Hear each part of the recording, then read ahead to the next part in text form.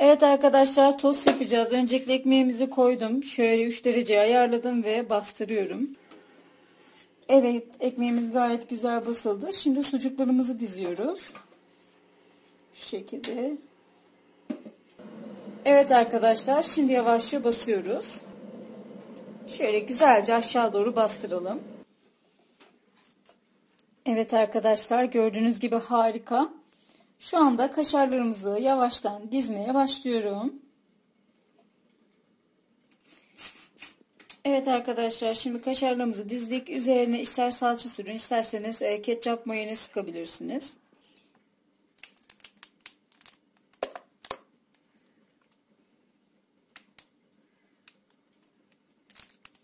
Şimdi birazcık da mayonez.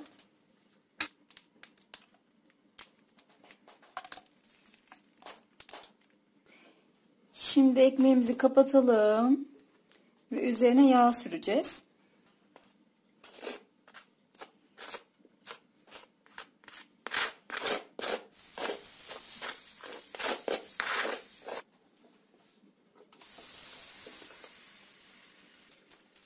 Arkadaşlar sesi duyuyorsunuz harika.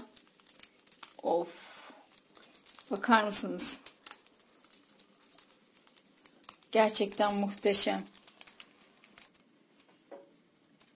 Evet arkadaşlar şimdi tostumuzu özellikle kesip şöyle göstermek istiyorum. Çok sıcak. Biraz zorlanıyorum. Evet şu görüntüye bakar mısınız? Gerçekten harika. Evet arkadaşlar şimdiden deneyecek olan herkese afiyet olsun.